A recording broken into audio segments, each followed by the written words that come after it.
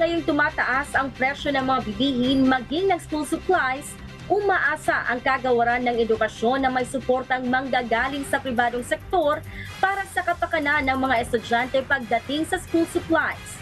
Ito ay lalo na't maraming mag-aaral ang mga magulang ay walang kakayahang bumili ng school supplies sa panahon ngayon.